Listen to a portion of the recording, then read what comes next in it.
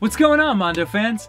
I'm so happy to be celebrating the 10th anniversary episode of Dirty Shorts with all of my friends. Like Chris, the cameraman. Have a party hat, Chris. Ah! Chris, seriously, this whole throwing stuff at Dan thing has to stop. Yeah, fuckface. I've had a lot of fun doing the show over the past few months, and I feel like you guys have been telling me to go f myself a lot less recently. Oh, never mind. Go f yourself is already the top comment. Let's take a look back at some of our favorite Dirty Shorts moments. We laughed. We shared. Boobs. We soared. We got shot by Laser Ed Scudders. Boobs. Wow, what an amazing journey we've been on together.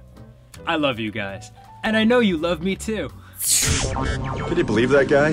What a dick. So let's keep it going. Let me know in the comments who you'd like to see me interview next. The makers of Kung Fu Carl, Deep Space 69, the guy who does the voice of Lord Tourette's. All you gotta do is ask. This sure turned out to be a great 10th episode. You know, in a way, it kind of deserves its own recognition. Ah.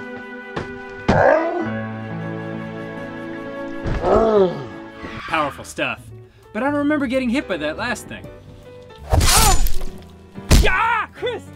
Damn it! That skull hit me right in the nuts.